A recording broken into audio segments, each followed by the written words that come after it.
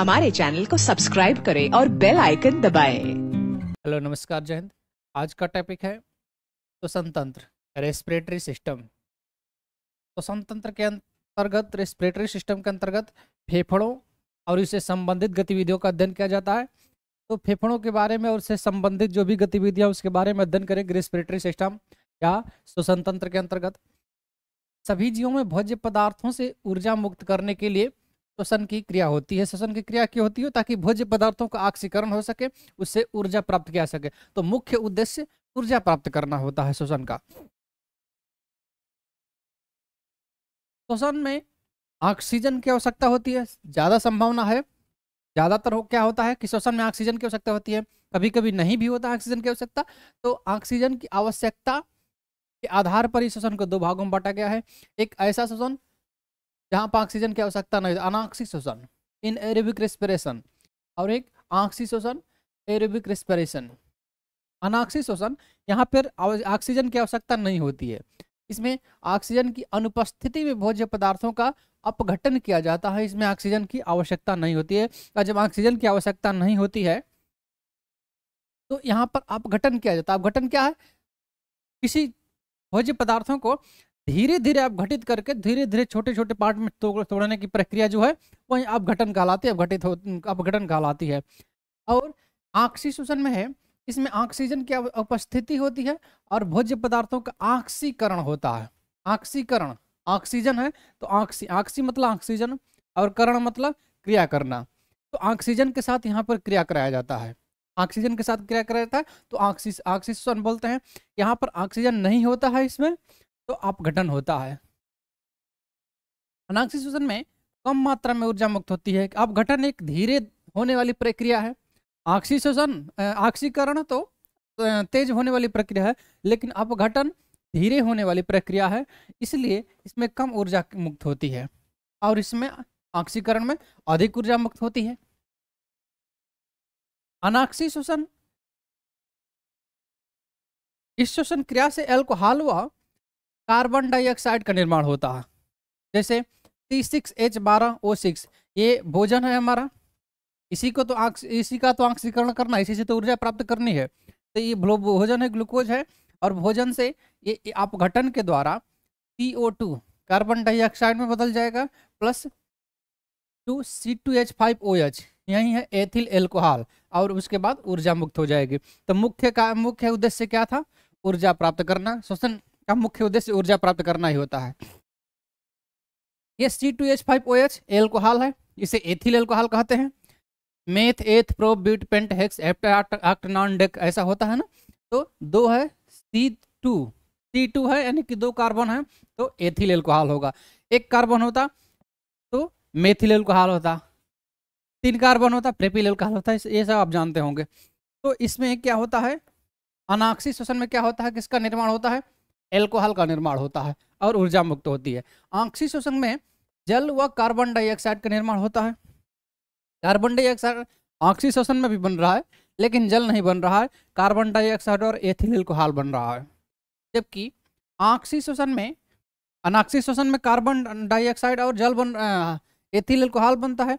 और आक्सी शोषण में ये भोजन है हमारा ग्लूकोज, उसके बाद ऑक्सीजन आया यहाँ पर ऑक्सीकरण होता है ना, कि ऑक्सीजन से क्रिया होती है ऑक्सीकरण का मैंने अभी बताया मतलब ऑक्सीजन आया यहाँ पे।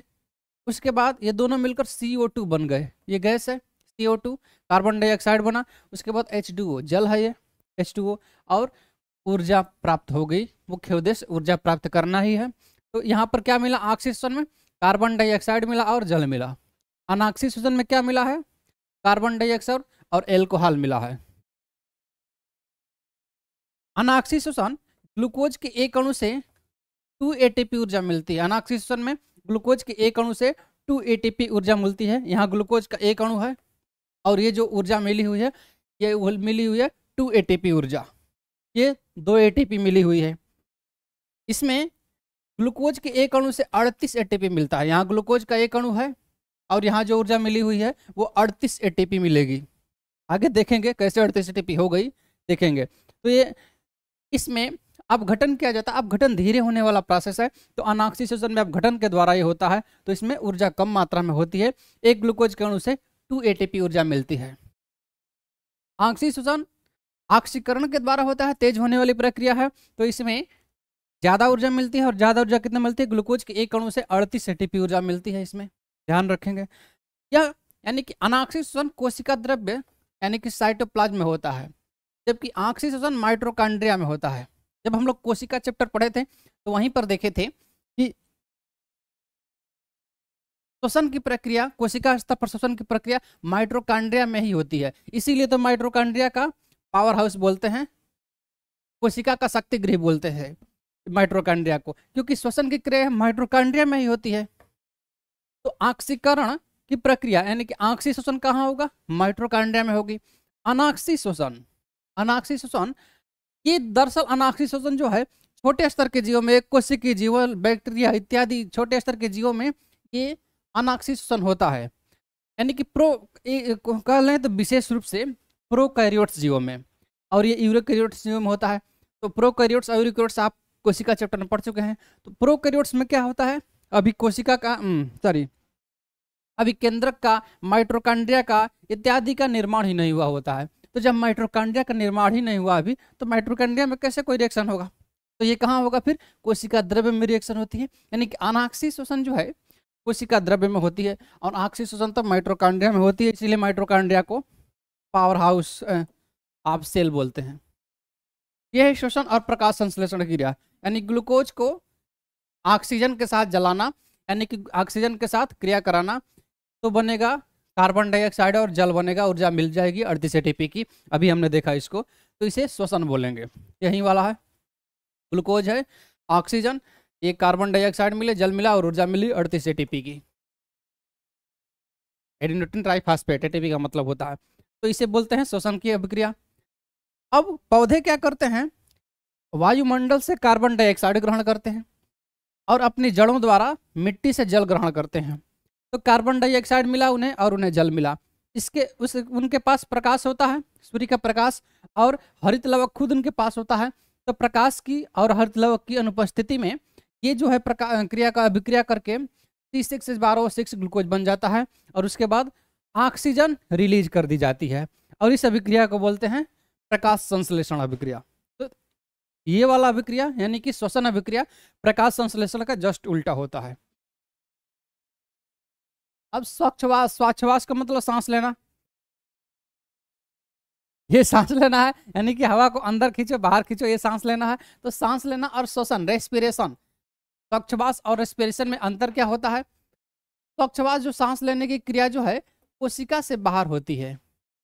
ये एक भौतिक क्रिया है, यानी कि सांस वायुमंडल से हवा को अंदर ले जाएँगे और ले जाकर जब अभिक्रिया अभिक्रिया कर कर लेने के बाद जब हवा बाहर निकलेगी कार्बन डाइऑक्साइड और अन्य हवा तो बाहर निकलेगी तो अंदर जाना और बाहर जान, निकलना, ये क्या है? स्वच्छवास है।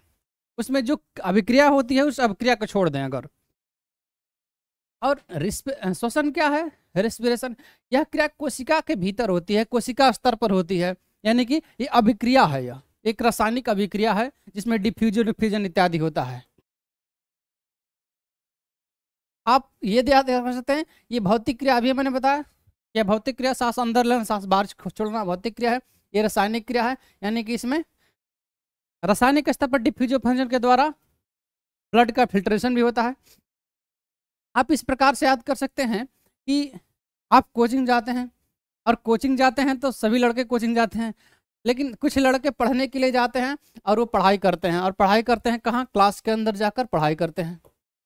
क्लास के अंदर जाके पढ़ाई करते हैं और वो रासायनिक रूप से यानी कि अभिक्रिया करते हैं, यानी कि अपने दिमाग के साथ अभिक्रिया करते हैं, अपने दिमाग का, दिमाग को रिसर्च में लगाते हैं, पढ़ाई में लगाते हैं और वहाँ से कुछ सीख कर निकलते हैं। तो वो एक प्रकार से जैव रासायनिक क्रिया है। वह कोचिंग के अंदर पढ़ते हैं, यानी कि वो कोशिका के भीतर होती है। लेकिन कुछ लड़के जाते हैं सिर्फ़ लाल पीला देखने के लिए, बाहर से देख कर चले आएँगे, उन्हें कोई मतलब नहीं है पढ़ाई से। टीचर आया, नहीं आया, वो क्या पढ़ाया, नहीं पढ़ाया उससे कोई मतलब नहीं है। तो वो क्या होते हैं? कोशिका से बाहर होते हैं। उनको बाहर, बाहरी स्तर पर सिर्फ़ देखने से मतलब है, चाहे टीचर पढ़ाए या ना पढ़ाए। तो लाल पीला देखने के लिए जाते हैं। तो ये बाहरी स्तर, यानी कि श्वास बोल सकते हैं इसके। ये भौतिक क्रिया है। ये सिर्फ़ देखने से इनको मतलब है, पढ़ाई से कोई मतलब नहीं है। तो ये रासायनिक क्रिया नहीं है, भौतिक क्रिया है। इसमें, यानी कि स्वच्छवास में एंजाइम का आवश्यकता नहीं होती है। एंजाइम क्या होता है दरअसल? जब हम लोग पाचन तंत्र डाइजेस्टिव सिस्टम पढ़ेंगे तो वहाँ पढ़ेंगे एंजाइम। हालाँकि इंट्रोक्राइन सिस्टम में भी बता चुका हूँ मैं कि ग्रंथियाँ दो प्रकार के होते हैं अंतरस्रावी और बहिस्रावी ग्रंथियाँ। अंतरस्रावी ग्रंथियाँ जो है, हार्मोन्स रिलीज़ करती हैं और बहिस्रावी ग्रंथियाँ जो है, एंजाइम रिलीज़ करती हैं। बहिस्रावी ग्रंथियों को हम लोग पाचक ग्रंथियाँ भी बोलते हैं। क्यों? क्योंकि पाचन में एंजाइम मुख्य भूमिका निभाता है। और एंजाइम कौन रिलीज़ करता है? बहिस्रावी ग्रंथियाँ, इन्हीं बहिस्रावी ग्रंथियों को पाचक ग्रंथियाँ बोलते हैं। तो एंजाइम क्या है? एंजाइम ऐसा पदार्थ होता है जो भोजन के बड़े अणुओं को छोटे छोटे अणुओं में तोड़ देता है। और इसी को पाचन कहते हैं। पाचन सिस्टम हम लोग पढ़ेंगे इसके बारे में। तो एंजाइम, आप सिर्फ़ इतना जाने अभी हाल फ़िलहाल कि एंजाइम एक ऐसा पदार्थ होता है जो भोजन के बड़े अणुओं को छोटे अणुओं में तोड़ देता है। तो यहाँ पर क्या तोड़ने की ज़रूरत है? यहाँ पर तो कोशिका के कोशिका के भीतर की क्रिया ही नहीं है। ये भौतिक क्रिया, इसमें रासायनिक कोई अभिक्रिया हो ही नहीं रही है। तो तोड़ने की ज़रूरत कहाँ पड़ गई? तो तोड़ने की ज़रूरत नहीं पड़ी तो इसमें एंजाइम की आवश्यकता नहीं होती है। इसमें श्वसन में क्या होता है? ऑक्सीजन के साथ अभिक्रिया होती है और ग्लूकोज का ऑक्सीकरण किया जाता है। अभी पीछे देखें हम लोग। टी सिक्स एच बारह O six plus O two goes two six C O two C O two plus H two O plus ऊर्जा। तो ऊर्जा प्राप्त कैसे की जाती है? आक्सी ग्लूकोज के से यानी ग्लूकोज का है? भोजन है। तो ग्लूकोज को तोड़ने की ज़रूरत पड़ गई इसमें। श्वसन में क्या हुआ? ग्लूकोज को तोड़ने की ज़रूरत पड़ गई। और जो तोड़ने की ज़रूरत पड़ गई तो किसकी ज़रूरत पड़ गई? एंजाइम की ज़रूरत पड़ गई। तो श्वास में, श्वास लेने और श्वास छोड़ने में, इसमें एंजाइम की कोई आवश्यकता नहीं होती है, जबकि श्वसन प्रक्रिया में एंजाइम की आवश्यकता होती है। इसमें ऊर्जा का उपभोग होता है। श्वास में, और जबकि श्वसन में ऊर्जा उत्पन्न होती है। आप लोग देख रहे हैं, श्वसन की अभिक्रिया है ना? यहाँ पे ऊर्जा मुक्त होती है, यानी कि ऊर्जा उत्पन्न होती है। और मुख्य रूप से इसका उद्देश्य ही ऊर्जा उत्पन्न करना है। तो श्वसन में क्या होता है? ऊर्जा उत्पन्न होता है। जबकि स्वच्छवास में क्या होता है? ऊर्जा का उपभोग होता है। यहाँ कोई ऊर्जा तो उत्पन्न होती नहीं, कोई रासायनिक अभिक्रिया होती नहीं है। जब कोई रासायनिक अभिक्रिया नहीं होती तो ऊर्जा भी उत्पन्न नहीं होती है। लेकिन आपको सांस अंदर लेने के लिए और बाहर लेने के लिए कुछ ऊर्जा तो खर्च करनी पड़ेगी ना? ऐसे तो जाएगा नहीं तो कुछ ऊर्जा का खर्च हो जाती है यानी कुछ ऊर्जा उपभोग हो जाती है और ऊर्जा बनती है नहीं यहाँ। क्योंकि सिर्फ़ आ, हवा को अंदर लेना बाहर फेंकना यही श्वास है और कुछ श्वास है नहीं इसमें कोई क्रिया नहीं होती है। इसमें यानी कि श्वास में ऑक्सीजन का अंतर्ग्रहण एवं कार्बन डाइऑक्साइड का बहिक्षेपण होता है। कार्बन डाइ सांस लेते हैं तो क्या करते हैं? ऑक्सीजन को और अन्य गैसों को अंदर लेते हैं अंदर खींचते हैं और कार्बन डाइऑक्साइड तथा अन्य गैसों को बाहर फेंकते हैं तो यही है श्वास। इसमें क्या होता है? इसमें ग्लूकोज का ऑक्सीकरण होता है। ये ग्लूकोज है और ये ऑक्सीजन है तो ग्लूकोज का ऑक्सीजन के साथ अभिक्रिया कराना ही ऑक्सीकरण कहलाता है। तो ग्लूकोज का ऑक्सीकरण होता है, फलस्वरूप कार्बन डाइऑक्साइड बनती है। ये कार्बन डाइऑक्साइड बन गए तथा ऊर्जा उत्पन्न होती है। यहाँ से ऊर्जा उत्पन्न हो गई। तो ये है स्वच्छवास और श्वसन में अंतर। स्वच्छवास में ऊर्जा का उपभोग होता है और इसमें ऊर्जा उत्पन्न होती है। आप कोचिंग जाएँगे, अगर पढ़ाई करने के लिए तो वहाँ से कुछ लेकर आएँगे ना, कुछ ज्ञान लेकर आएँगे तो आपको ऊर्जा मिलेगी। और अगर पढ़ाई करने के लिए नहीं सिर्फ़ देखने के लिए जाएँगे तो आपको तो ऊर्जा वेस्ट होगा ना तो इसलिए। श्वसन, रेस्पिरेशन और दहन, कंबस्टन। अब देखते हैं श्वसन में और दहन में क्या अंतर है। श्वसन, अभी हम लोगों ने देखा श्वसन क्या है? एक जैविक नियंत्रण में होने वाली जैव रासायनिक अभिक्रिया ऑक्सीकरण प्रक्रिया है। यानी ग्लूकोज का ऑक्सीजन के साथ अभिक्रिया करा जाता है, इसे ऑक्सीकरण कहते हैं ना, ग्लूकोज का ऑक्सीकरण तो ग्लूकोज का ऑक्सीकरण प्रक्रिया है, यह नियंत्रण में होती है, जैव नियंत्रण में होती है। कंबस्टन दहन क्या है? यह अनियंत्रित रासायनिक अभिक्रिया है, एवं ऑक्सीकरण प्रक्रिया है। ऑक्सीकरण प्रक्रिया दोनों है। दोनों में ऑक्सीजन दोनों में ऑक्सीजन के साथ ही अभिक्रिया होती है, इसमें भी और इसमें और दोनों में ऑक्सीजन के साथ अभिक्रिया होती है, इसलिए दोनों ऑक्सीकरण प्रक्रिया है। लेकिन श्वसन क्या है? ये जैव नियंत्रण में होता है, जबकि दहन अनियंत्रित रासायनिक अभिक्रिया, ये नियंत्रण में नहीं होती है। बस यही अंतर है दोनों में कि ये नियंत्रित अभिक्रिया है, ये दहन अनियंत्रित अभिक्रिया है। लोग ऑक्सीजन के साथ अभिक्रिया करने का मतलब ही होता है किसी चीज़ को जलाना। जैसे लकड़ी ले लीजिए यहाँ पर। दहन में क्या करें? लंका दहन कर दीजिए। दहन से आप याद कर सकते हैं, लंका दहन। लंका दहन में क्या होता है? लकड़ी का बनाया जाता है, लंका, और रावण बनाया जाता है लकड़ी का, और उसे जला दिया जाता है। तो लकड़ी बहुत ज़्यादा ले लीजिए, उसमें आग लगा दीजिए। तो वो एक प्रकार से दान हो गया। और श्वसन क्या हुआ? आग उसमें ग्लूकोज की आवश्यकता होगी, भोजन को ऑक्सीजन के साथ अभिक्रिया करा दीजिए। इसमें इसे श्वसन बोलेंगे।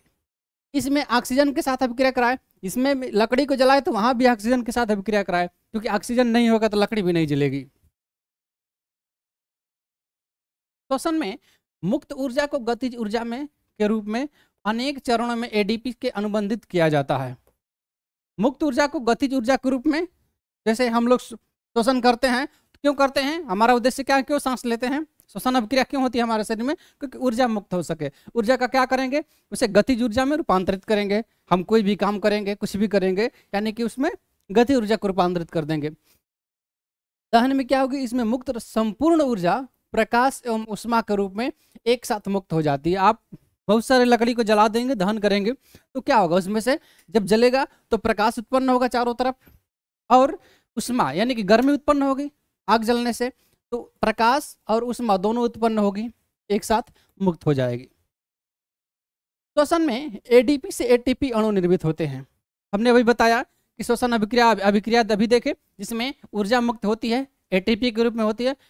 एक अणु ग्लूकोज के जलने से 38 एटीपी ऊर्जा मुक्त होती है, अभी हम लोगों ने देखा था। इसमें ऐसी कोई प्रक्रिया नहीं होती है, इसमें ऊर्जा मुक्त नहीं होती है। इसमें क्या मुक्त होती है? प्रकाश और उष्मा मुक्त होती है। श्वसन जो है, सामान्य क्रिया, सामान्य ताप पर होती है। 25 डिग्री से 45 डिग्री 25 डिग्री से 45 डिग्री सेल्सियस पर ये होती है। यानी कि ये रूम टेम्परेचर पर ये अभिक्रिया होती है। श्वसन अभिक्रिया रूम टेम्परेचर पर होती है सामान्य ताप पर होती है, लेकिन दहन अभिक्रिया उच्च ताप पर होती है।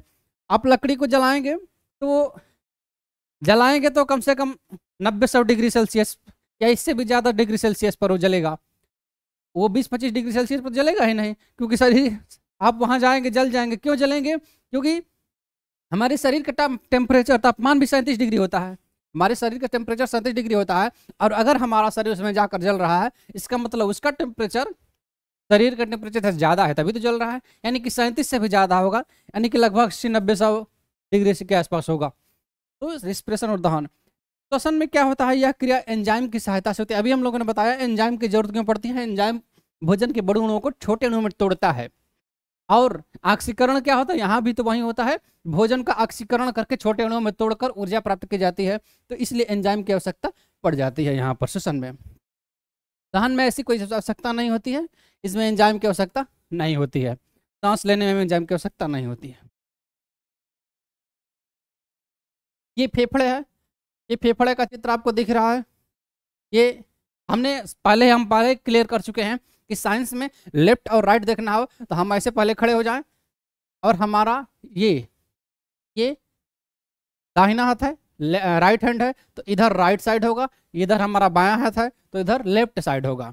तो इसलिए इधर दायां फेफड़ा, राइट लंग ये है, और ये वाला फेफड़ा बायां फेफड़ा। आप दाएँ फेफड़ों को देख रहे हैं, इसमें तीन लोब हैं। एक यहाँ से लाइन गई है, एक यहाँ से लाइन गई है। और ये पूरे लाइन है ही। तो एक ये एक ये और एक ये। तीन लोभ हो गए। इसमें केवल दो ही लोभ हैं। ये यहाँ से गया है और एक ये यहाँ से आया है। एक लोभ ये, एक लोग ये। तो इसमें दो, सिर्फ़ दो लोभ हैं।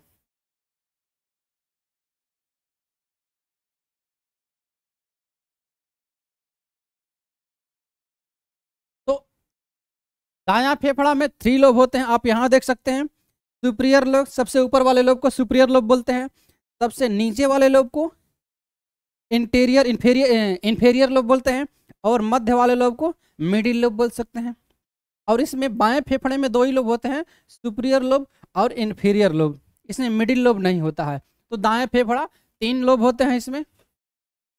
तीन लोब होते हैं और बाएँ फेफड़े में केवल दो लोब होते हैं। दायां फेफड़ा इसीलिए आकार में बड़ा होता है, तीन लोब होते हैं तो आकार में थोड़ा सा बड़ा होता है और बाया बाया फेफड़ा आकार में छोटा होता है, क्योंकि बाएँ फेफड़े फेफड़े में यहाँ हृदय स्थिर होने के लिए, हृदय को रखने के लिए यहाँ पर जगह होता है। और यहाँ पर, क्योंकि आप जानते हैं ना, आप कहते हैं ना कि हृदय बाएँ साइड में होता है तो बाएँ साइड में कैसे होता है? दो फेफड़े हैं, दो फेफड़े यहाँ पर स्थिर है, स्थित है, और इन दोनों फेफड़े में जो लेफ़्ट वाला फेफड़ा, बाया वाला फेफड़ा है, उसी में यहाँ पर खांच बना होता है जहाँ पर हृदय हर्ट स्थित है। हम लोग सर्कुलेटरी सिस्टम में हर्ट हृदय के बारे में पढ़ चुके हैं तो वो यहाँ पर स्थित होता है, बाएँ फेफड़े में। तो इसलिए बाएँ वाला फेफड़ा थोड़ा छोटा भी हो जाता है, इसमें दो लोब होते हैं केवल दाया वाला फेफड़ा बड़ा होता है थोड़ा सा, इसमें तीन लोब होते हैं, और क्योंकि ये थोड़ा सा छोटा है तो इसलिए इसका वज़न केवल 600 ग्राम होता है, थोड़ा सा कम होता है, और ये थोड़ा बड़ा है तो इसलिए इसका वज़न थोड़ा ज़्यादा होता है 700 ग्राम होता है इसका। तो दाएँ फेफड़े का वज़न 700 ग्राम, और बाएँ फेफड़े का वज़न 600 ग्राम होता है। ये फिगर है, आप देख सकते हैं। ये फेफड़े का फिगर है। ये रिप्स है, इनके बारे में हम लोग पढ़ चुके हैं स्केलेटल सिस्टम में। रिप्स है, ये स्टर्नम है, स्टर्नम वाली हड्डी है, ये रिप्स है, पसलियाँ। और इनके नीचे जो है, पसलियों के नीचे जो है, अपना फेफड़ा स्थित होता है। और फेफड़े देखने से इस प्रकार लगा, इधर का पसलियों उसलियों को हटाकर दिखाया गया है, इस ये वाला, इधर वाला साइड। तो इधर देखने को लिखे देखने से लगेगा। और बाकी फेफड़े पसलियों सहित देखेंगे तो इधर ऐसा लगेगा आपको नेक्स्ट देखते हैं। इसके बारे में। वायु जो है, वायु जो है, पहले जाती है, पहले कहाँ जाएगी? बाह्य नासा छिद्र में। ये जो नाक का छिद्र होता है बाहर वाला, उसे बोलते हैं बाह्य नासा छिद्र।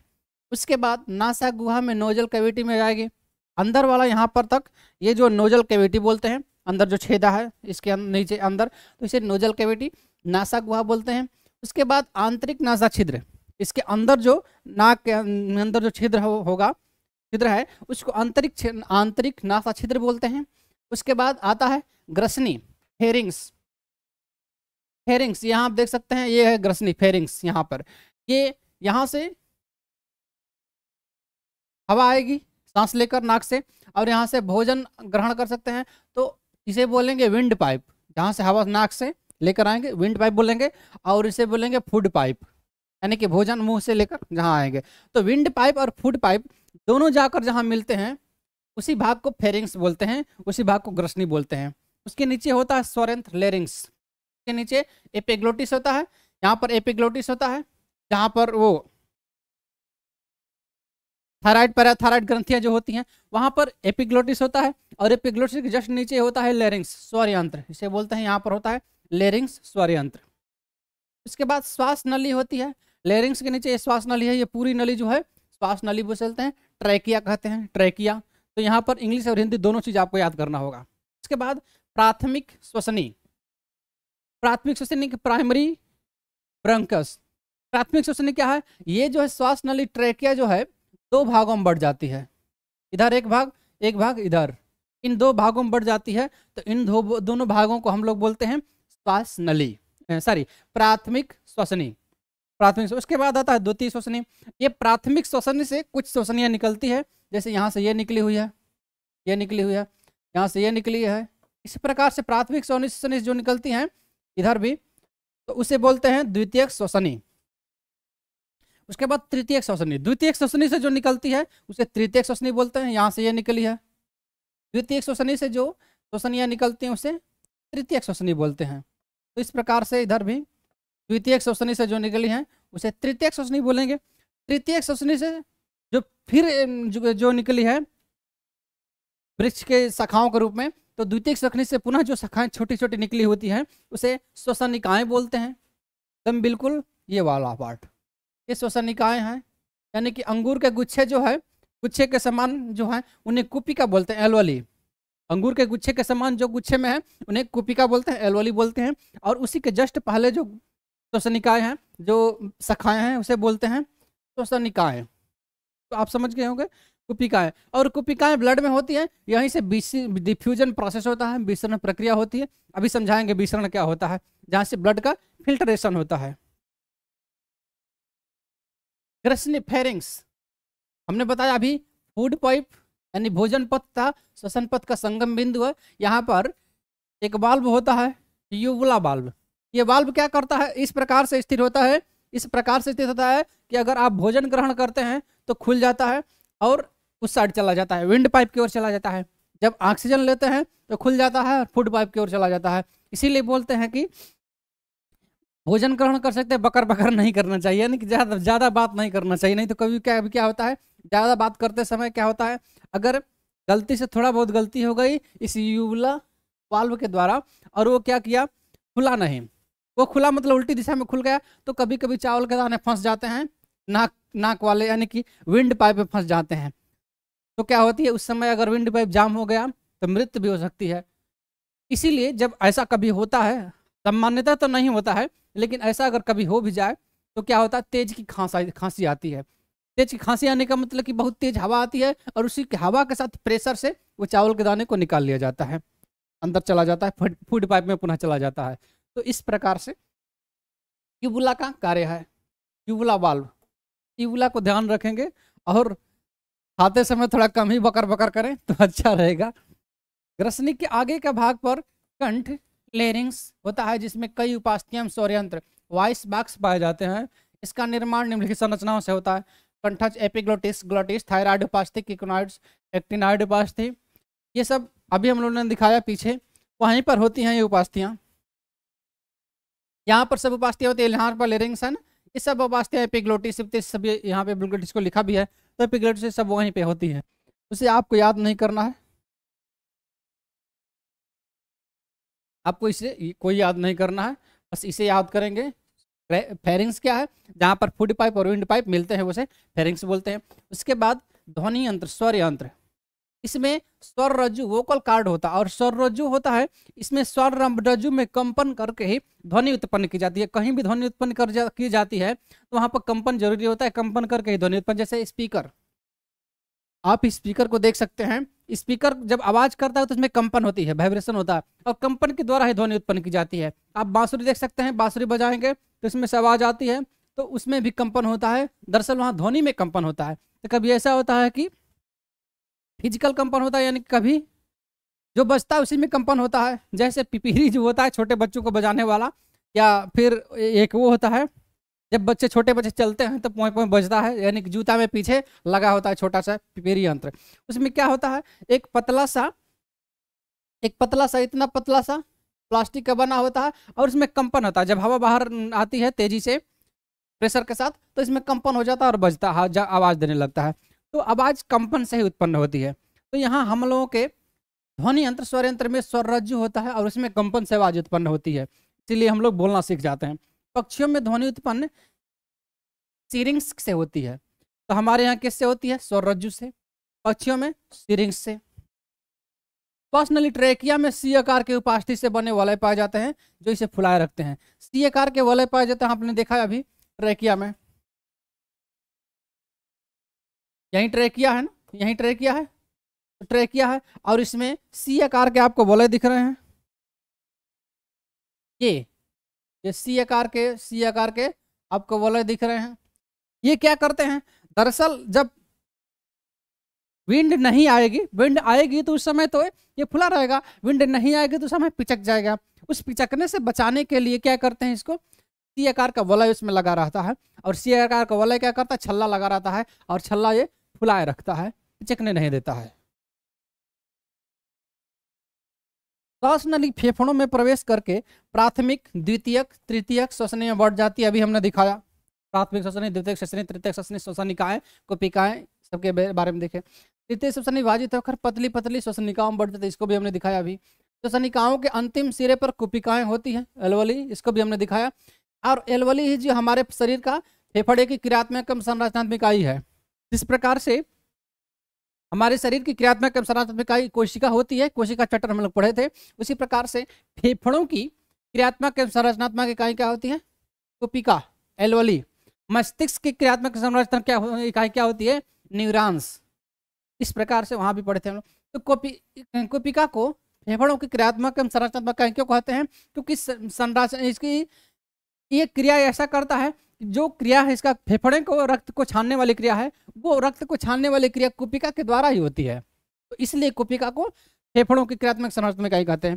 फेफड़ों में लगभग तीस करोड़ कुपिकाएँ पाई जाती हैं। नंबर को ध्यान देंगे। सक्षवास, हमने सक्षवास, यानी कि सांस को अंदर लेना, बाहर करना और श्वसन प्रक्रिया में अंतर देखे थे। अभी देखा हमने।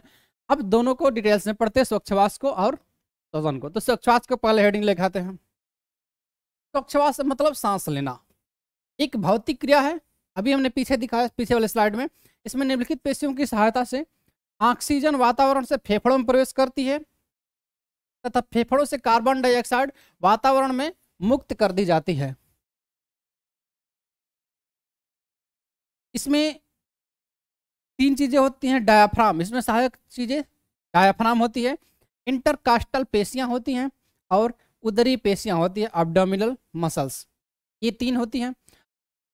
ये वक्ष गुहा और उदर गुहा को अलग करता है डायाफ्राम अभी दिखाएँगे पिक्चर में। वक्ष गुहा, उदर गुहा को अलग करता है। इंटरकास्टल पेशियाँ पसलियों के बीच स्थित जो पेशियाँ होती हैं, पेशियाँ उसे इंटरकास्टल पेशियाँ कहते हैं। आप यहाँ देख सकते हैं। यह है डायाफ्राम ये नीचे जो पार्ट है दिख रहा है आपको, यहाँ भी दिख रहा है, ये होता है डायाफ्राम ये इंटरकास्टल पेशियाँ, ये रब्स पसलियाँ हैं रिप्स ये पसलियाँ हैं, और इन पसलियों के बीच में जो आपको मसल्स दिख रहा है, उसे बोलते हैं इंटरकास्टल पेशियाँ। पसलियों के बीच में यहाँ यहाँ यहाँ जो मसल्स दिख रहा है, इस पसलियों के नीचे, उसे इंटरकास्टल पेशियाँ बोलते हैं।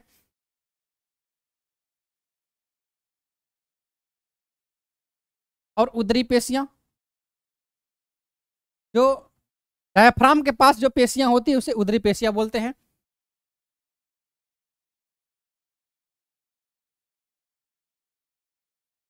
अब श्वसन, स्वच्छवास देखते हैं, सांस लेते समय और सांस छोड़ते समय। सांस लेते समय और सांस छोड़ते समय। सांस लेते समय जो है सांस लेंगे अंदर तो इसे अंत श्वसन या इनहिलेशन बोलेंगे। इनहिलेशन अंत स्वच्छवास दरअसल अंत श्वसन नहीं अंत स्वच्छवास बोलते हैं ज़्यादा। लेकिन अंत श्वसन भी चलेगा। तो अंत स्वच्छवास या अंत श्वसन इनहिलेशन लेकिन इंग्लिश का ध्यान देंगे। इन इंस्पायरेशन नहीं बोल सकते इनहिलेशन ही बोलेंगे, क्योंकि इंस्पायरेशन श्वसन की प्रक्रिया नहीं होती केवल गैसों को अंदर खींचना, यही इनहिलेशन है। और गैसों को बाहर छोड़ना एक्सहाइलेशन है। वायु बोल सकते हैं, इंग्लिश का यहाँ भी ध्यान देंगे, हिंदी तो कुछ भी चलेगा, लेकिन इंग्लिश का ध्यान देंगे। एक्सप्रेशन नहीं बोल सकते इनहिलेशन ही बोल सकते हैं। जब सांस अंदर लेते हैं तो डायाफ्राम सीधा होता है। और सांस छोड़ते हैं तो डायाफ्राम गुंबदाकार होता है।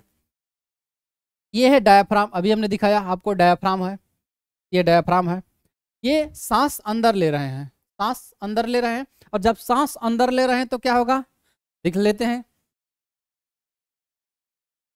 इस प्रकार सांस अंदर जब लेते हैं तो सांस अंदर लेंगे तो ऑटोमेटिक आप फील करेंगे कि ये फेफड़े फूलने लगते हैं। फेफड़े फूलने लगते हैं क्योंकि इसमें जो है कि ये ऊपर की ओर होती हैं ऊपर की ओर जाती हैं ये पसलियाँ। और फेफड़ों में हवा भरने लगती है तो फेफड़े फूलते हैं। और जब फेफड़े फूलने फेफड़े में हवा भरेगी तो यहाँ से नीचे की ओर दबाव बने, बनेगा। नीचे की ओर प्रेशर लगेगा, क्योंकि यहाँ हवा भर गई ना तो नीचे की प्रेशर लगेगा तो ये डायफ्राम जो है, ये डायफ्राम जो है, ये प्रेशर नीचे की ओर दबेगा तो सीधा होने लगेगा। तो डायफ्राम इसमें इनहेलेशन प्रोसेस में क्या होता है? डायफ्राम सीधा होता है। अब सांस छोड़ते समय क्या होगा? इन एक्सहाइलेशन प्रोसेस में क्या होगा? सांस छोड़ते समय, जब ये अभी हमने सांस ले लिया, बस सांस छोड़ रहे हैं।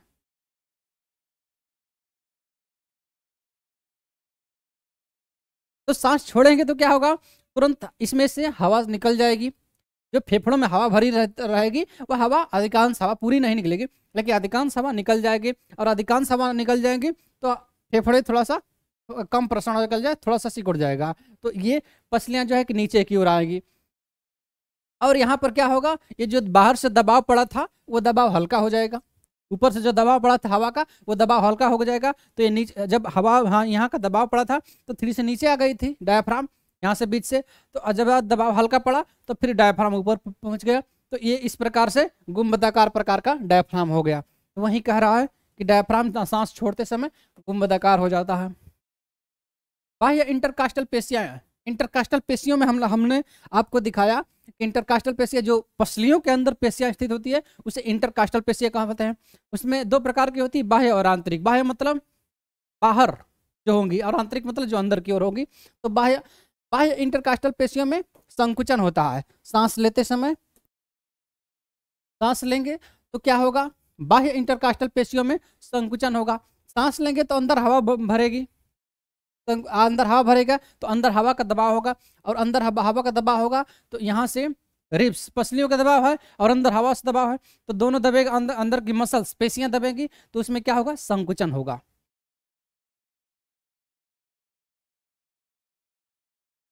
सांस छोड़ते समय आंतरिक स्टनकास्टल पेशियों में संकुचन होता है। जब सांस छोड़ेंगे, अभी क्या होता अभी हमने सांस लिया था तो ये इधर फेफड़ों में हवा भरा और जब फेफड़ों में हवा भरा तो ऊपर से दबाव है पसलियों का नीचे से दबाव हवा का तो बाह्य अंटरकास्टल पेशियाँ जो है सिकुड़ सिकड़ने लगी क्योंकि जब सर दबाव बढ़ा अब जब सांस छोड़ेंगे तो जो दबी हुई है अचानक फैलेगी क्योंकि जो आ, प्रेशर कम हो जाएगा सांस छोड़ेंगे तो तो जब फैलेगी तो ऊपर से दबाव अपने नीचे वाली पेशियों पर डालेगी तो नीचे वाली पेशियाँ फिर सिकुड़ेगी। तो इस प्रकार से यहाँ पर नीचे वाली पेशियाँ सिकुड़ती हैं यानी कि आंतरिक। आंतरिक इंटरकास्टल पेशियों में संकुचन होता है। उदरी पेशियाँ, इसमें प्रसरण होता है और यहाँ पर उदर पेशिया में इसमें संकुचन होता है। यहाँ पर क्या करेंगे उदरी पेशियाँ जो है, जब सांस लेंगे हम, सांस लेंगे, अंदर करेंगे तो यहाँ पर क्या होगा? यहाँ पर हवा का दबाव बढ़ेगा।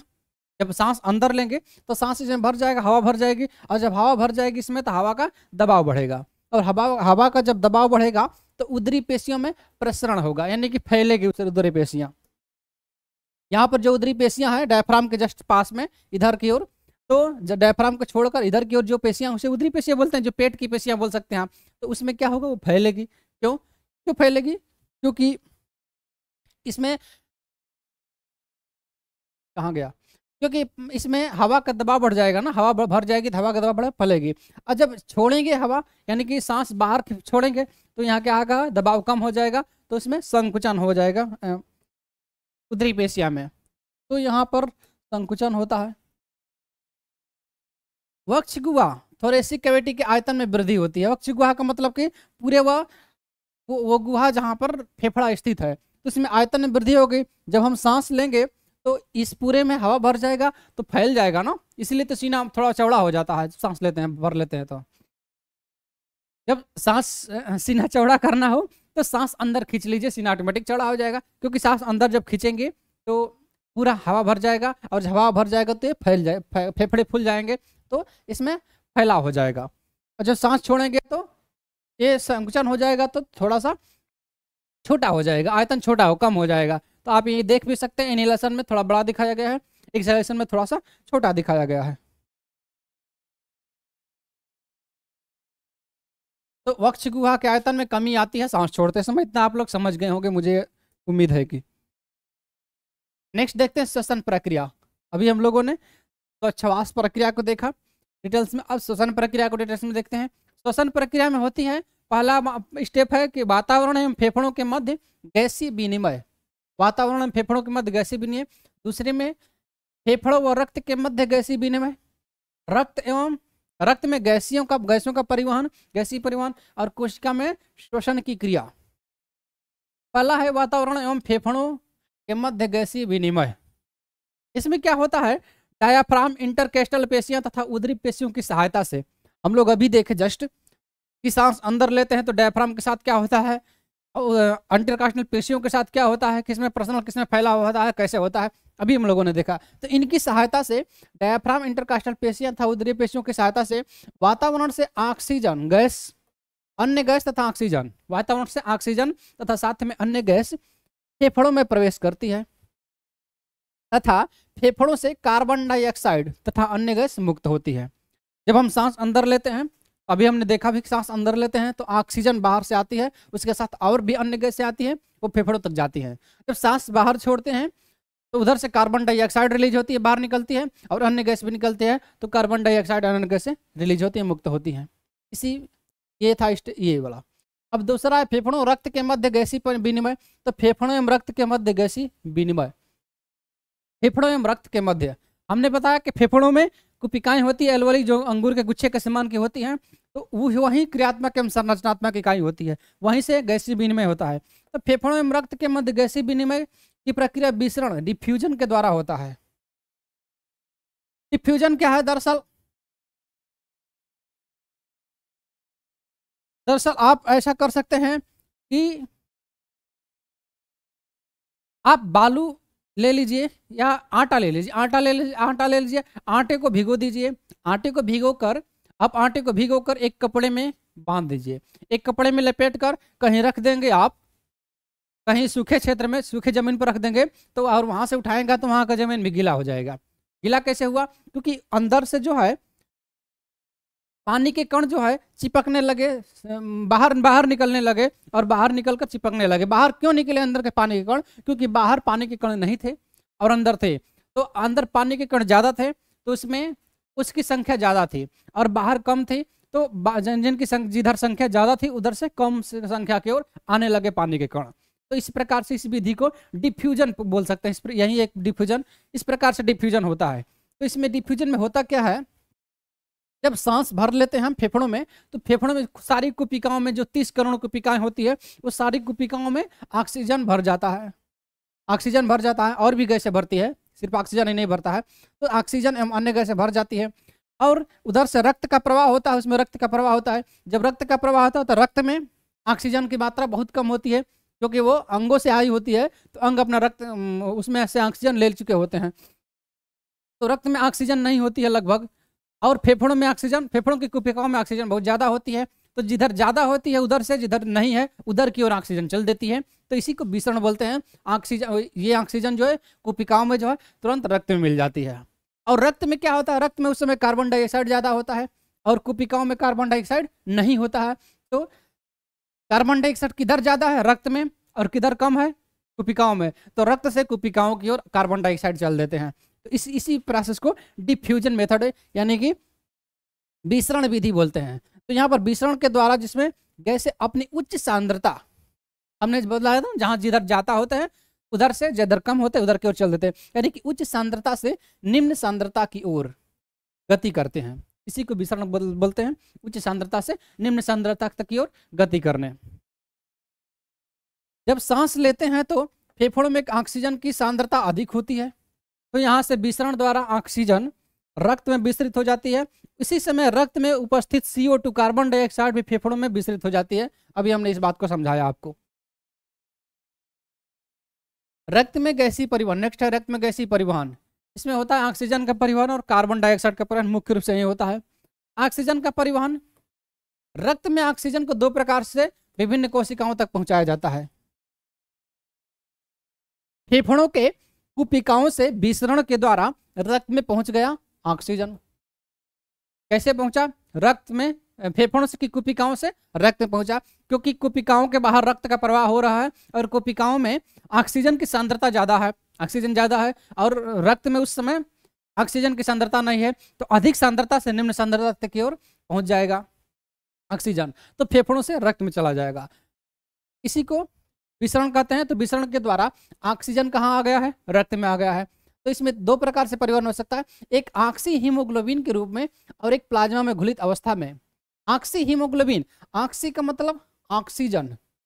ऑक्सी का मतलब ऑक्सीजन। हीमोग्लोबिन। आप जानते हैं रक्त में हीमोग्लोबिन होता है ना? हीमोग्लोबिन के कारण ही रक्त का रुधिर का रंग लाल होता है। आप पीछे पड़ चुके हैं सर्कुलेटरी सिस्टम में। हीमो का मतलब होता है, वहाँ ये भी बताए थे, परिसंचरण तंत्र में हमने ये भी बताया था कि हीमो का मतलब होता है आयरन कंपाउंड जो आयरन कंपाउंड हमेशा लाल रंग का होता है और ग्लोबिन का मतलब प्रोटीन होता है। प्रोटीन भी लाल रंग का होता है। और दोनों मिलकर दोनों लाल तो इसलिए पूरे का हीमोग्लोबिन ही लाल रंग का होता है और इसलिए रक्त का रंग लाल होता है। तो रक्त में क्या होता है? हीमोग्लोबिन। हीमोग्लोबिन का मतलब रक्त से संबंधित है। जहाँ भी हीमोग्लोबिन देखे, वहाँ रक्त से संबंध होगा। तो ऑक्सी हीमोग्लोबिन ऑक्सीजन का परिवहन किसके साथ? हीमोग्लोबिन के साथ। ऑक्सीजन का परिवहन हीमोग्लोबिन के साथ, इसे ऑक्सी हीमोग्लोबिन बोलेंगे ऑक्सी हीमोग्लोबिन यानी कि आरबीसी में उपस्थित हीमोग्लोबिन आरबीसी का मतलब रक्त, क्योंकि रक्त में आरबीसी होती है ना आरबीसी डब्ल्यूबीसी प्लेटलेट्स तो आरबीसी में उपस्थित हीमोग्लोबिन ऑक्सीजन से जुड़कर ऑक्सी हीमोग्लोबिन के निर्माण करती है, जो लगभग संतानवे परसेंट ऑक्सीजन का परिवहन करती है। यानी कि शरीर में जितने भी ऑक्सीजन का परिवहन होता है, उसका संतानवे परसेंट ऑक्सीजन ऑक्सी हीमोग्लोबिन के रूप में होता है। बाकी जो तीन परसेंट बचा, वो प्लाज्मा में घुलित अवस्था में होता है। रक्त में हम जानते हैं कि प्लाज्मा होता है और कणिकाएँ होती है। प्लाज्मा पचास से पचपन परसेंट होता है, कणिकाएँ चालीस से पैंतालीस परसेंट होती है। कणिकाओं में आरबीसी डब्ल्यूबीसी और प्लेटलेट्स होती है। और प्लाज्मा में जल और अन्य पदार्थ होते हैं। तो प्लाज्मा होते हैं, इसको हम लोग सर्कुलेटरी सिस्टम पढ़ चुके हैं तो बाकी जो तीन परसेंट बची, वो प्लाज्मा में घुल कर और पहुँचते हैं। प्लाज्मा में घुलकर कोशिकाओं तक पहुँच जाते हैं। नेक्स्ट है कार्बन डाइऑक्साइड का परिवहन। कार्बन डाइऑक्साइड का, रक्त में कार्बन डाइऑक्साइड का को तीन प्रकार से विभिन्न कोशिकाओं तक पहुँचाया जाता है। तीन प्रकार से विभिन्न कोशिकाओं तक, विभिन्न कोशिकाओं तक नहीं पहुँचाया जाता, विभिन्न कोशिकाओं से लाया जाता है। फेफड़ों तक लाया जाता है। कोशिकाओं तक कार्बन डाइऑक्साइड की कोई ज़रूरत नहीं है। कोशिकाओं ने ही तो ऑक्सीजन लिया था और अपना ग्लूकोज जो कोशिकाओं के पास था सी सिक्स एच बारह ओ सिक्स ग्लूकोज कोशिकाओं के पास था, उसने ऑक्सीजन लिया और इससे ऑक्सीकरण करके सिक्स सी ओ टू और plus six H two H two O carbon dioxide जल बना दी और ऊर्जा मुक्त कर ली। और ऊर्जा मुक्त करना ही मुख्य उद्देश्य था। ऊर्जा इन्होंने मुक्त कर लिया। तो छोड़ा के ऑक्सीजन तो उसने ले लिया कोशिकाओं ने। छोड़ा क्या? कार्बन डाइऑक्साइड छोड़ा। तो कार्बन डाइऑक्साइड तो कोशिकाओं ने ही छोड़ दिया। वहाँ से कहाँ लाया जाएगा? फेफड़ों के पास लाया जाएगा। और फेफड़ों के पास जब रक्त में रहेगा और वहाँ पर रक्त में प्रवाह, रक्त प्रवाह होता रहेगा, वहाँ पर कुपिकाएँ छाई रहेंगी। तो कुपिकाओं में कार्बन डाइऑक्साइड उस समय नहीं होगा और रक्त में होगा। उसी समय विसरण के द्वारा, यानी कि उच्च सांद्रता से निम्न सांद्रता की ओर रक्त से निकलकर फेफड़ों में चल- जाएगा कार्बन डाइऑक्साइड। तो कार्बन डाइऑक्साइड का परिवहन कहाँ होगा? किधर गया? तीन प्रकार से विभिन्न कोशिकाओं से फेफड़ों तक पहुँचाया जाता है, लाया जाता है। इस प्रकार से का बाइकार्बोनेट आयन बाइकार्बोनेट आयन के रूप में, बाइकार्बोनेट आयन के रूप में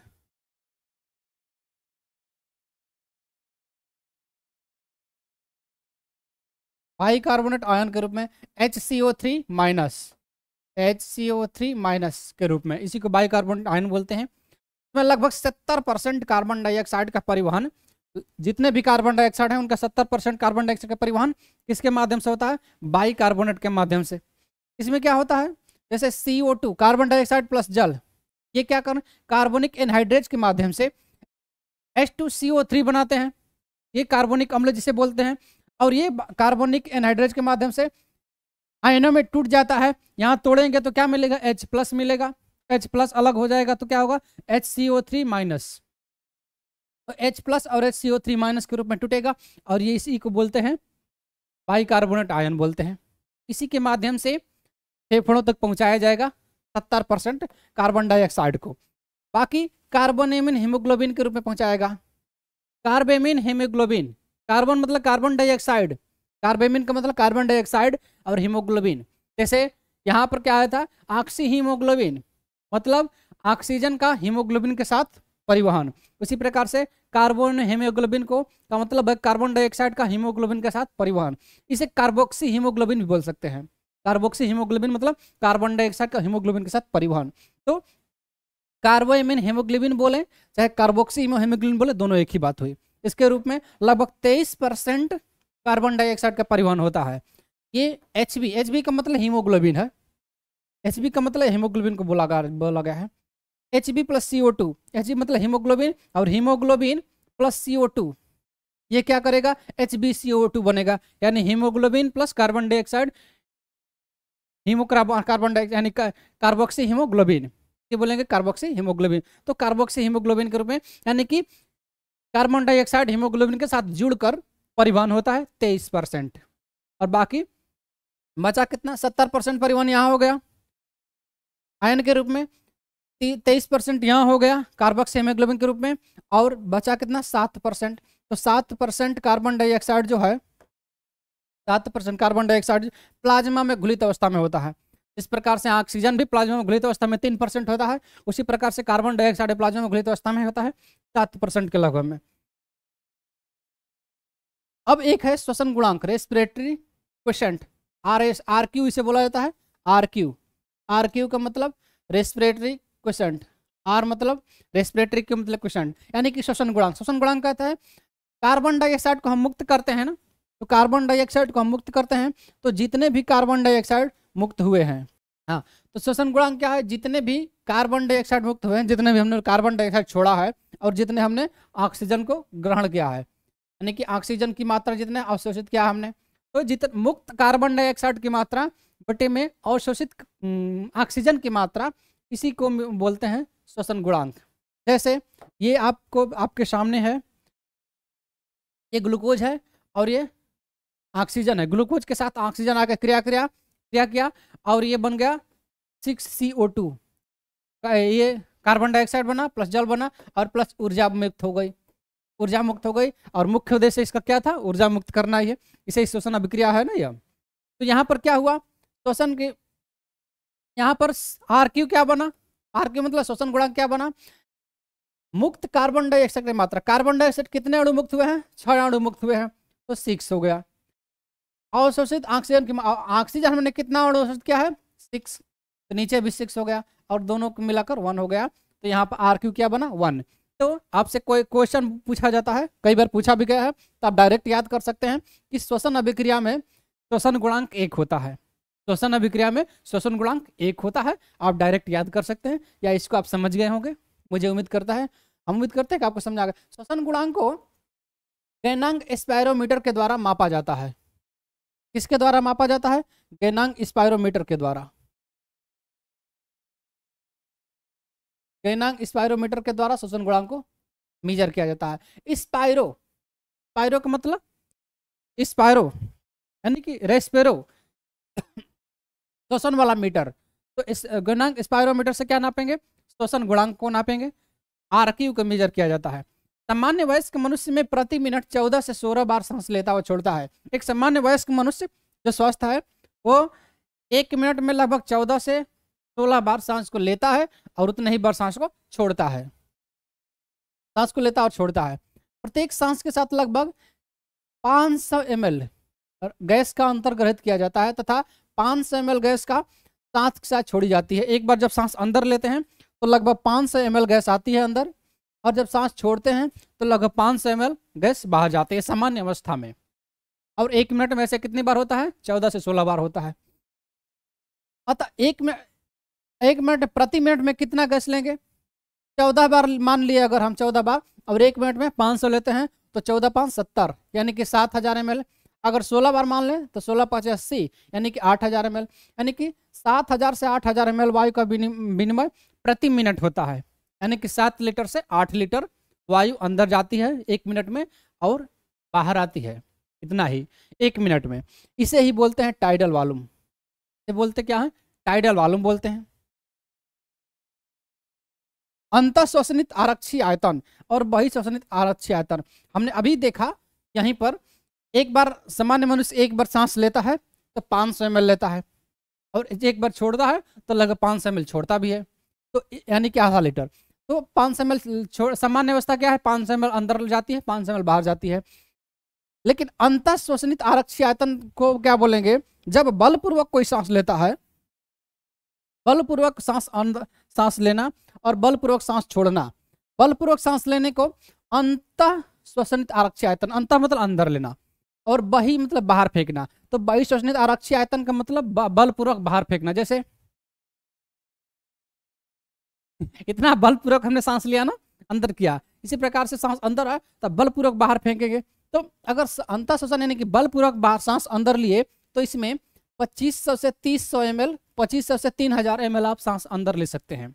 कितना? 2500 से 3000 एम सांस अंदर जाता है। सामान्य सांस लेते हैं तो उतना नहीं जाता, केवल 500 एम के आसपास जाता है। लेकिन बलपूर्वक अगर लेते हैं तो पच्चीस से तीन हज़ार एम सांस अंदर जाता है, वायु अंदर जाती है। इसे अंत श्वसनित आरक्षी आयतन बोलते हैं। उसी प्रकार से बलपूर्वक छोड़ते हैं तो बलपूर्वक लेते समय तो ज़्यादा आएगा, लेकिन बलपूर्वक छोड़ते समय ज़्यादा नहीं छोड़ पाएँगे ना। क्यों ज़्यादा नहीं छोड़ पाएँगे? क्योंकि कुछ फेफड़ों में रह जाएगा। इसीलिए बही में आरक्षी आयतन जो है, एक हज़ार से ग्यारह सौ एम होता है, यानी कि बलपूर्वक जब सांस छोड़ते हैं तो एक हज़ार से ग्यारह सौ एम ही छोड़ पाते हैं। सामान्य अवस्था में कितने छोड़ते हैं? पाँच सौ एम लेकिन बलपूर्वक छोड़ते हैं तो ग्यारह सौ से एक हज़ार से ग्यारह सौ एम छोड़ते हैं। सामान्य अवस्था में सांस लेते कितना है? पाँच सौ एम बलपूर्वक छोड़ते हैं तो पच्चीस सौ तीस हज़ार एम छोड़ते समय क्या होता है? आप उतना ही छोड़ सकते हैं जितना उसमें है। फेफड़ों में वायु भरी है। जैसे ये दो टब हैं। ये दो टब हैं और दोनों में पानी भरा हुआ है। सपोज़ करें इसमें पानी भरा हुआ है। और इसमें नहीं पानी भरा है। पानी भरा, इसमें नहीं भरा। आप इसमें से पाइप जोड़ दीजिए और जो इस पाइप को खोलेंगे तो इसका पानी इसमें भरने लगेगा, इसमें भरने लगेगा। और कब तक भरेगा? जब तक दोनों का लेवल समान ना हो जाए। जब दोनों का लेवल समान हो जाएगा, तब पानी भरना बंद हो जाएगा। उसी प्रकार से अंदर सांस भरी हुई है, बाहर आप फेंकेंगे तो कब तक फेंक सकते हैं? जब जितना आप, उतना ही फेंक सकते हैं जितना फेफड़ों के अंदर वायु भरी है, उससे ज़्यादा नहीं फेंक सकते हैं। तो आपने ग्यारह सौ अगर फेंक दिया तो ग्यारह सौ फेफड़ों के अंदर भी भरी होगी ग्यारह बारह सौ? तो इतना ही लगभग फेफड़ों के अंदर भरी होगी तो दोनों मिलाकर इतना हो जाएगी, पच्चीस सौ के आसपास हो जाएगी। ग्यारह ग्यारह बाईस सौ तेईस सौ हो जाएगी। आरक्षी आयतन क्या होता है? रिज़र्व वॉल्यूम अभी मैंने जो बताया, वहीं आरक्षी आयतन होता है। क्या बताया मैंने? आप बलपूर्वक फेंकते हैं सांस बाहर तो सांस बाहर फेंकते हैं तो आप उतना ही सांस बाहर फेंक सकते हैं, जितना फेफड़ों के अंदर भरी है। उससे अधिक नहीं फेंक सकते हैं, क्योंकि उससे, या उससे थोड़ा सा कम ज़रूर फेंक सकते हैं, लेकिन उससे थोड़ा अधिक नहीं फेंक सकते हैं। क्यों? क्योंकि ये वाला नियम लागू होगा ना। आप ये पानी भरा है इसमें, और इसमें पानी भरा है तो तल तब तक समान होगा, जब तक, तब तक पानी बहेगा, जब तक तल समान हो जाए। यानी कि दोनों तरफ़ का जब प्रेशर समान हो जाएगा तो इससे ज़्यादा नहीं हो सकता है। तो आरक्षी आयतन क्या है? आरक्षी रिज़र्व वालों मतलब जो फेफड़ों में रिज़र्व किया गया है, यानी कि छोड़े हैं तो भी नहीं गया है बाहर तो वो रिज़र्व वालूम कितना है? ग्यारह सौ से बारह सौ एम होता है। जितना आपने बलपूर्वक लगाकर छोड़ा ग्यारह सौ से, दस सौ से एक, ग्यारह सौ, उससे थोड़ा सा ज़्यादा होता है, यानी कि ग्यारह सौ से बारह सौ एम होता है। बलपूर्वक सांस छोड़ने के बाद फेफड़ों में उपस्थित वायु। इसे बोलते हैं आरक्षी आयतन। अब तक आप समझ गए होंगे, मुझे उम्मीद है कि कोशिकाओं में श्वसन की क्रिया। श्वसन रेस्पिरेशन जो है तो दो प्रकार का होता है। अनाक्षी श्वसन और आंक्षी श्वसन। पीछे हम लोग पढ़ चुके हैं दोनों को, इनमें अंतर भी पढ़ चुके हैं। अनाक्षी श्वसन में ये श्वसन दो प्रकार का होता है, एल्कोहालिक किड़वन और लैक्टिक अम्ल किड़वन। अनाक्षी श्वसन में ऑक्सीजन की आवश्यकता नहीं होती है, इसलिए इसमें किड़वन होता है। किड़वन दो प्रकार का होता है, एल्कोहालिक किड़वन और लैक्टिक किड़वन, लैक्टिक अम्ल किड़वन। श्वसन में ऑक्सीजन की आवश्यकता होती है, इसलिए इसमें किड़वन सिड़वन नहीं होता, डायरेक्ट ऑक्सीकरण प्रोसेस होता है। तो इसमें दो स्टेज होते हैं।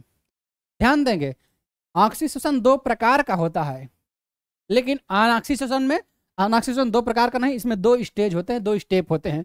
पहला स्टेप, उसके बाद सेकेंड स्टेप। पहला स्टेप होता है ग्लाइकोलाइसिस और सेकेंड स्टेप होता है क्रेब्स चक्र। अनाक्सीशन एनोरेबिक रेस्पिरेशन। एंजाइमों की सहायता से ऑक्सीजन की अनुपस्थिति में कार्बनिक भोज्य पदार्थों के अपघटन को ही अनाक्षी शोषण कहते हैं। अंतिम उत्पाद पूर्णतः कार्बनिक पदार्थ बनता है, हमने अभी बताया। अभी बताया कि एंजाइमों की सहायता से ऑक्सीजन की अनुपस्थिति में, यानी कि अनाक्सिक यहाँ ऑक्सीजन की कोई आवश्यकता नहीं है। ऑक्सीजन की अनुपस्थिति में कार्बनिक भोज्य पदार्थों का अपघटन। यहाँ पर ऑक्सीकरण नहीं होता है, क्योंकि ऑक्सीजन नहीं है तो क्या होता है फिर? अपघटन होता है। पीछे भी हम लोग देख चुके अनाक्सीजन कहते हैं। इसमें अंतिम उत्पाद कार्बनिक पदार्थ बनते हैं। इस बात को ध्यान देखें, इस लाइन को, कि भले ही यहाँ पर ऑक्सीजन नहीं है, ऑक्सीजन नहीं है, लेकिन अपघटन के बाद कार्बनिक पदार्थ बनते हैं। कार्बनिक पदार्थ वहाँ भी बनते हैं जहाँ ऑक्सीकरण होता है, ऑक्सीजन में, और यहाँ भी बनते हैं। जैसे लैक्टिक अम्ल एथिल एल्कोहल एथिल एल्कोहल हमने देखा था ना, बना था ना अनाक्सीजन में। C two H five O H इसमें कार्बन है ना सी कार्बन ही है तो कार्बनिक पदार्थ से बोलेंगे तो ये कार्बनिक पदार्थ है। अनाक्सीशन बैक्टीरिया कवक, जलमग्न पौधों, उस्तर जंतुओं की पेशियों में होता है कवक में राइजोपम, म्यूकोरिस्ट इत्यादि आता है। तो हम लोग अनाक्षी शोषण पहले ही बता चुके हैं कि छोटे प्रकार के जीवों में होता है, जैसे बैक्टीरिया वैक्टीरिया में। तो बैक्टीरिया, कवक, जलमग्न पौधों में अनाक्षी शोषण होता है।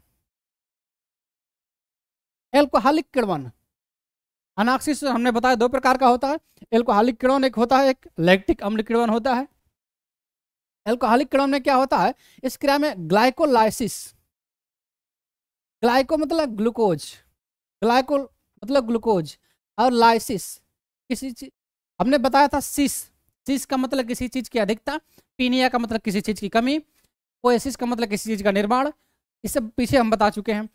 उसी प्रकार से लाइसिस का मतलब होता है लाइसिस।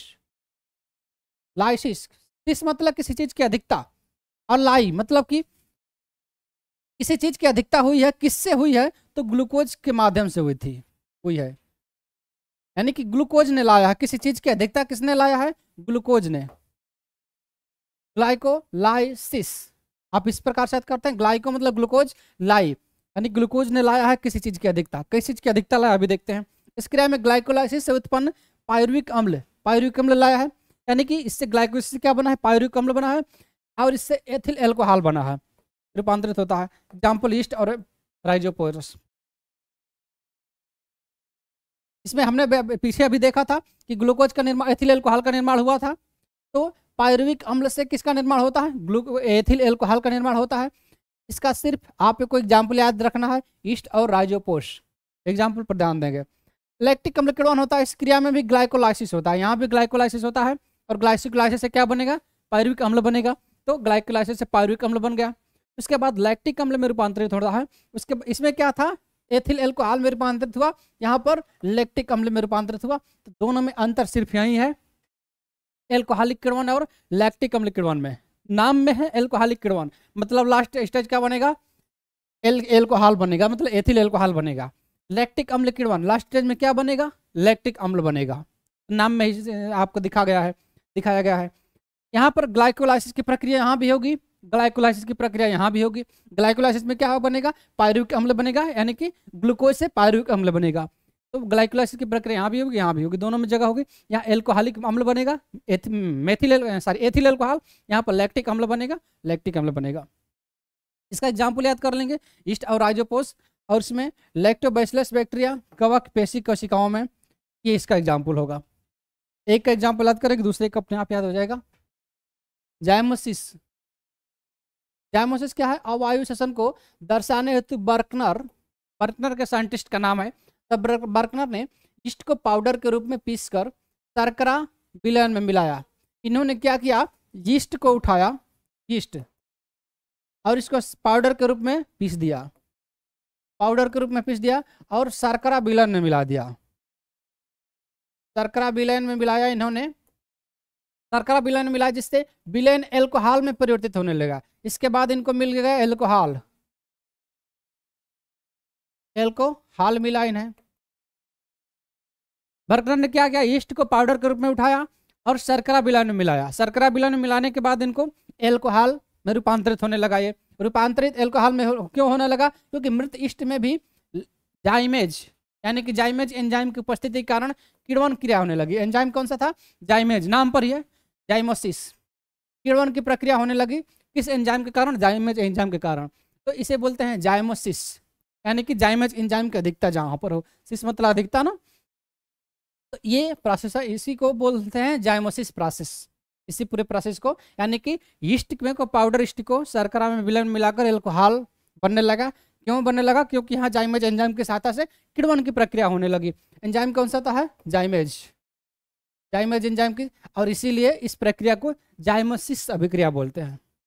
अब आयु ये मतलब श्वसन का महत्व। आयु आयु मतलब कि अनाक्षी शोषण का महत्व। बेकरी उद्योग में होता है, जैसे ब्रेड, केक, पेस्ट्री निर्माण में। ब्रेड केक, पेस्ट्री निर्माण में यहाँ पर इसका महत्व होता है, क्योंकि अगर ऑक्सीजन देंगे उस वहाँ पर तो ऑक्सीजन के वजह से ये ब्रेड, केक इत्यादि सब खराब हो सकते हैं। इसलिए वहाँ पर अवायु शोषण कराया जाता है, इन एरेबिक रेस्पिरेशन कराया जाता है। तो बेकरी उद्योग में इसका महत्वपूर्ण उद्योग में, डेयरी उद्योग में महत्व है इसका।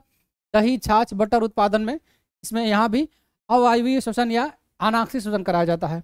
किड़वन में, किड़वन तो महत्वपूर्ण है, क्योंकि किड़वन की प्रोसेस होती है, यहाँ पर भी हमने देखा, किड़वन। जाइमेज एंजाइम की सहायता से किड़वन होने लगता है, तभी तो एल्कोहल बनता है।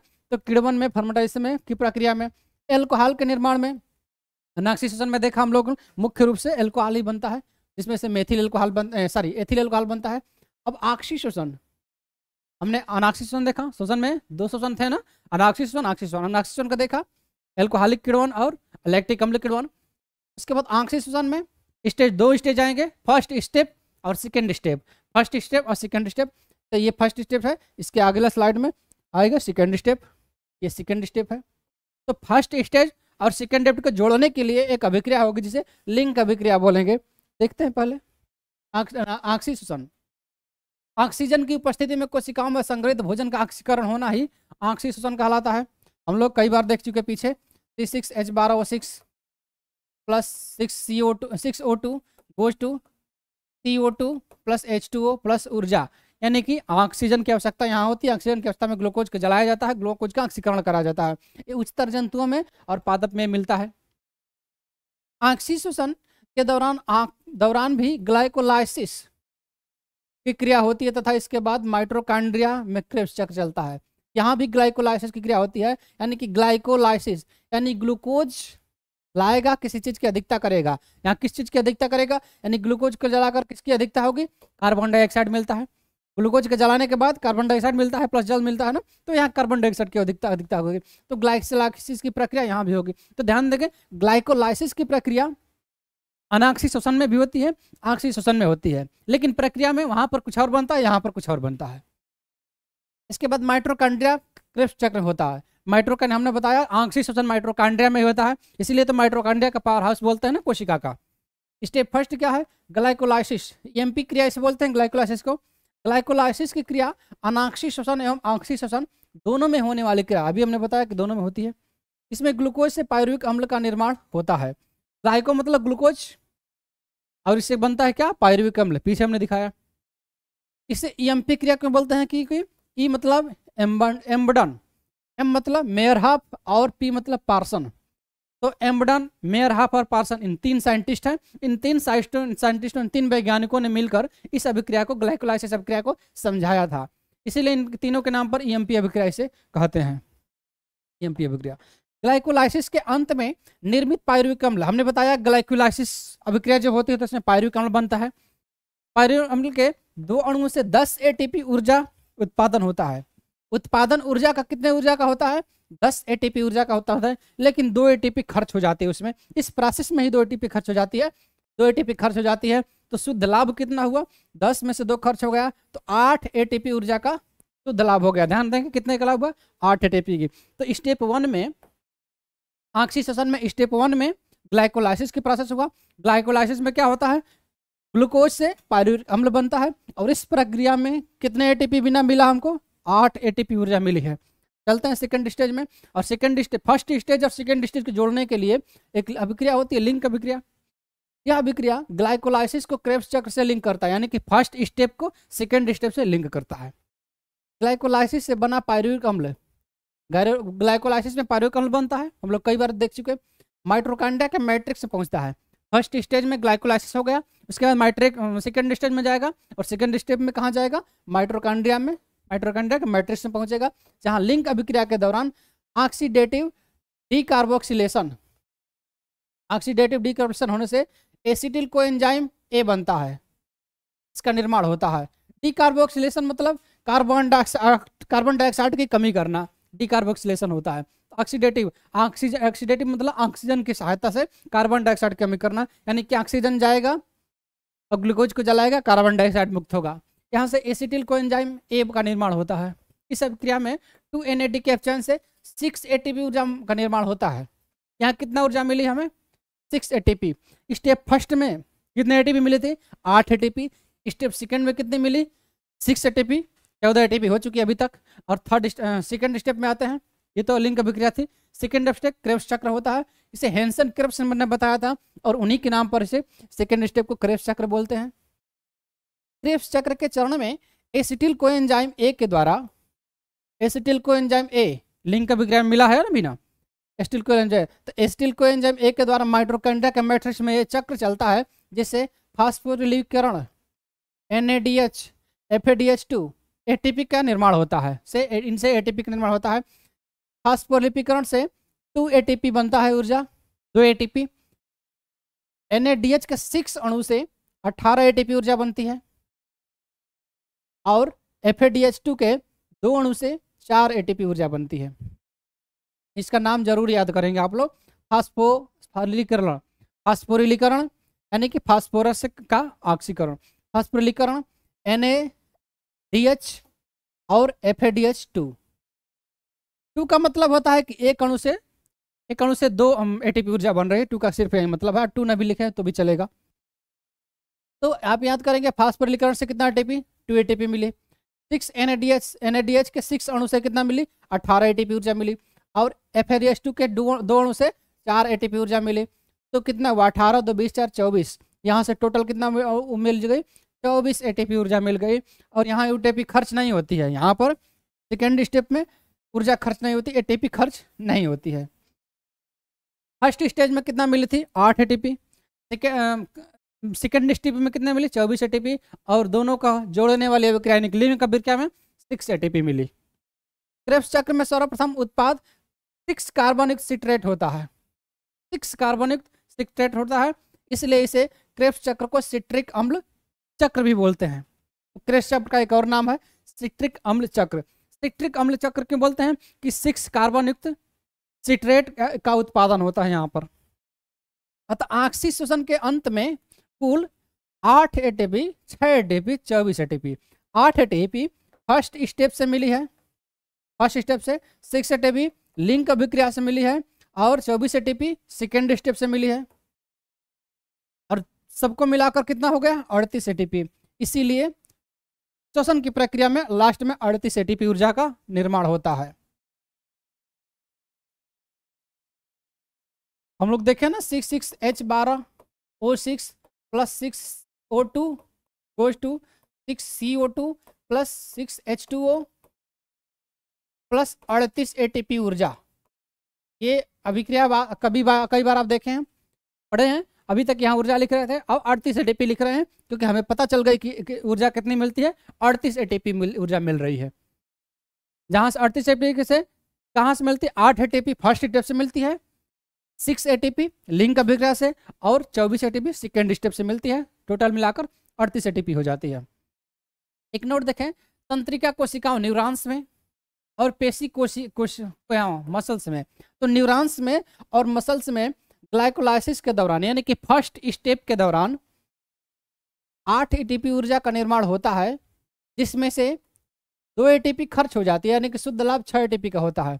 बाकी सब में कितना ग्लाइकोलाइसिस यानी कि फ़र्स्ट स्टेज में कितना बनता है? दस एटीपी बनता है, दो एटीपी खर्च होता है, यानी कि आठ एटीपी का लाभ होता है। लेकिन यहाँ, यानी कि तंत्रिका कोशिकाओं और पेशी कोशिकाओं में स्टेप फ़र्स्ट में कितना बनता है? केवल आठ एटीपी बनता है, जिसमें से दो एटीपी खर्च हो जाता है तो छः एटीपी का लाभ होता है। तो छः एटीपी स्टेप फ़र्स्ट में बना, फ़र्स्ट स्टेज में छः एटीपी बना, सिक्स एटीपी लिंक अभिक्रिया में, लिंक अभिक्रिया में उतना ही बनता है, फिर और सेकेंड स्टेप में चौबीस एटीपी तो टोटल कितना हो गया? छत्तीस एटीपी तो ध्यान देंगे तंत्रिका कोशिकाओं में और पेशी कोशिकाओं में जब श्वसन होता है तो वहाँ पर जो है, केवल छत्तीस एटीपी ऊर्जा मिलती है, अड़तीस एटीपी नहीं मिलती है, इस बात को ध्यान देंगे। बाकी हर जगह अड़तीस एटीपी मिलती है। एक टीपी का मतलब होता है आठ दशमलव एक पाँच किलो कैलोरी। एक एटीपी का मतलब होता है आठ दशमलव एक पाँच किलो कैलोरी। आक्सी श्वसन क्या होता है? ये ग्लूकोज है सी सिक्स एच बारह सिक्स यहाँ से आकर जुड़ा ऑक्सीजन। बदल गया किसमें कार्बन डाइऑक्साइड और जल में और हमें ऊर्जा मिल गई। ऊर्जा कितनी मिली? अड़तीस एटीपी ऊर्जा मिली। इस अपवाद को छोड़ दिया जाए, यानी कि तंत्र का कोशिकाओं और पेशी कोशिकाओं वाला अपवाद को छोड़ दिया जाए तो ऊर्जा कितनी मिली? अड़तीस एटीपी मिली। और कैलोरी में कहें तो सैद्धांतिक रूप से हमें छः किलो कैलोरी मिलती है। सैद्धांतिक रूप से हमें कितनी मिलती है? छः कैलोरी। लेकिन एक एक ए बराबर आठ दशमलव एक पाँच कैलोरी होता है ना? एक ए बराबर आठ दशमलव एक पाँच कैलोरी होता है और अड़तीस ए ऊर्जा मिलती है, अड़तीस ए ऊर्जा मिलती है तो अड़तीस ए गुणा आठ दशमलव एक पाँच करें तो तीन सौ नौ किलो कैलोरी ही हुआ। केवल तीन सौ नौ किलो कैलोरी ही हुआ। यानी कि यहाँ पर कम है। तो छः सौ छियासी का तीन सौ नौ कितना हुआ? केवल पैंतालीस परसेंट ही हो रहा है। केवल पैंतालीस परसेंट ही हो रहा है। यानी कि सिद्धांत सिद्धांत क्या कहता है? सिद्धांत कहता है ग्लूकोज का ऑक्सीकरण होगा तो कार्बन डाइऑक्साइड बनेगी, जल बनेगा, उसके बाद ऊर्जा मिलेगी, ऊर्जा जो मिलेगी वो कितना मिलेगा? छः सौ छियासी किलो कैलोरी मिलेगी। लेकिन हम लोग देख रहे हैं कि अगर एट एक ए बराबर आठ दशमलव एक पाँच किलो कैलोरी अगर होता है तो इसमें गुणा करेंगे, मल्टीप्लाई करेंगे तो तीन सौ नौ किलो कैलोरी हो रहा है। यानी कि इससे कितना कम आ रहा है?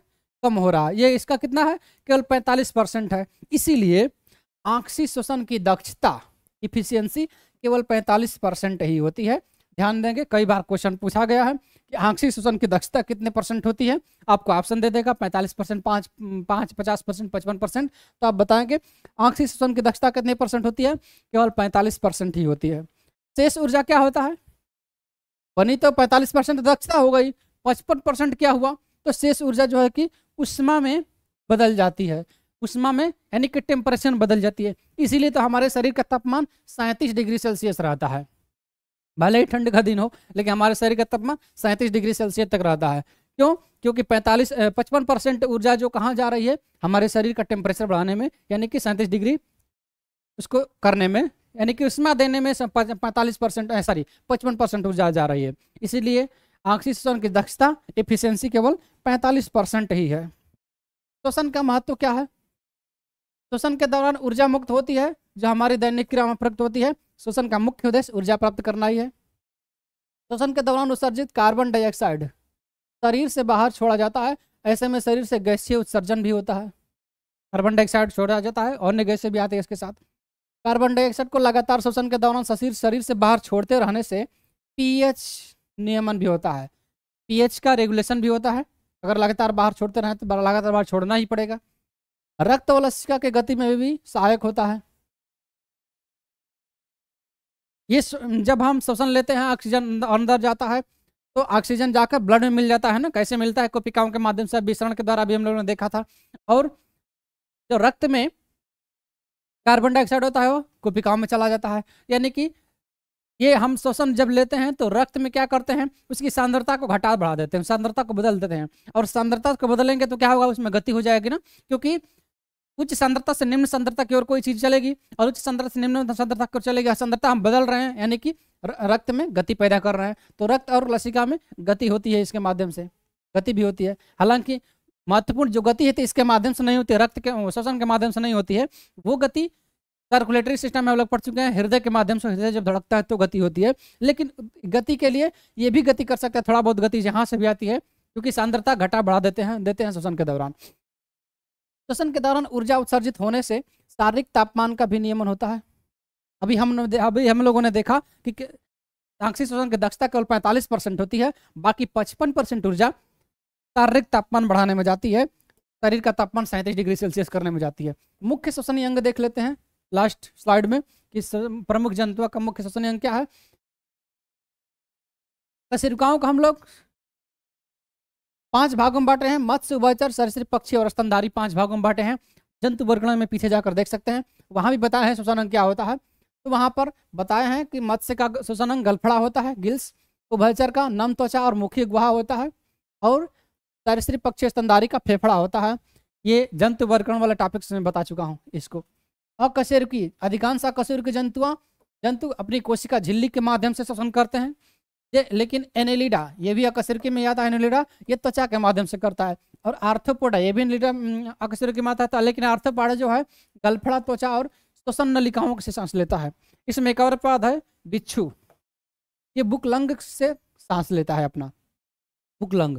तो ये थोड़ा सा अपवाद है, इसको ध्यान देंगे। बाकी इस चीज़ को तो सामान्य नियम के साथ आप देख सकते हैं, जंतु वर्कला में देख चुके हैं। आपको याद भी होगा, मुझे उम्मीद है कि। तो अभी के लिए इतना ही, आज का चैप्टर ये श्वसन तंत्र रेस्पिटेशन खत्म हुआ। वीडियो अगर अच्छा लगा है तो लाइक कर दीजिए, चैनल को सब्सक्राइब कर दीजिए और कुछ कमेंट वमेंट कर दिया करिए अच्छा लगे तो भी, नहीं लगे तो भी। धन्यवाद।